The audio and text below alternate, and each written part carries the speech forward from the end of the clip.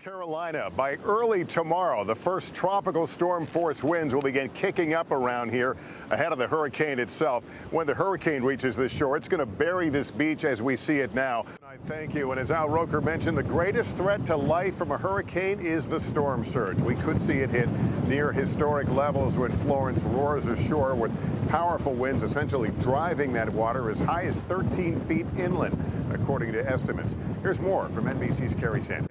When will you be back? What will you find when you come back? Those are some of the many questions faced as residents. Some tough conversations, tough choices for families like the Allens as they prepare to ride out the storm. I want to get back now to Al Road. Look at these maps, and that appears to be the impact zone. But when you talk about air travel and how it's affected around the country, it extends essentially. We'll take a short break. When we come back, the new 2 hip, it is Tony Bennett.